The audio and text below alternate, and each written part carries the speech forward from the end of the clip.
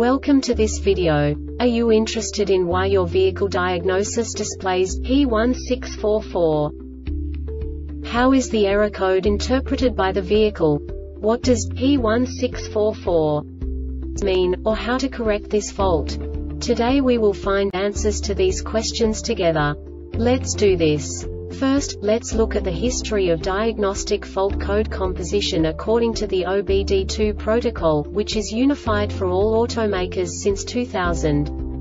We divide the electric system of automobile into the four basic units. Powertrain, body, chassis, network. This distribution is defined in the first character code. If the second character is expressed as zero, it is a standardized error.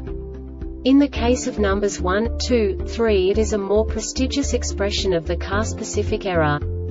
The third character specifies a subset of errors.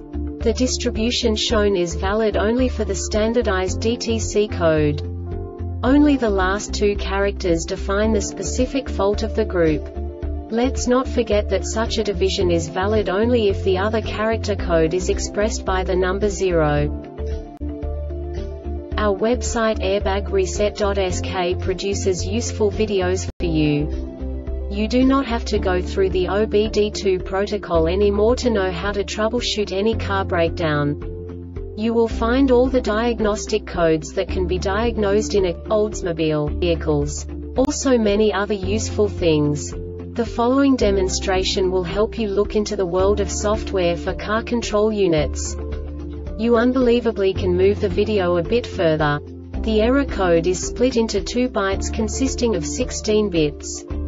One bit is the basic unit that each computer works with. The bit has two logical states. 0, low level, 1, high level. By combining the first two bits, the basic character of the error code is expressed. The next two bits again determine the second character. The last beat styles of the first byte define the third character of the code. The second byte is composed of a combination of 8 bits. The first 4 bits determine the fourth character of the code. And the combination of the last 4 bits defines the fifth character. A single byte conceals 256 possible combinations. We now know in what way the diagnostic tool translates the received information into a more comprehensible format. The number itself does not make sense to us if we cannot assign information about it to what it actually expresses.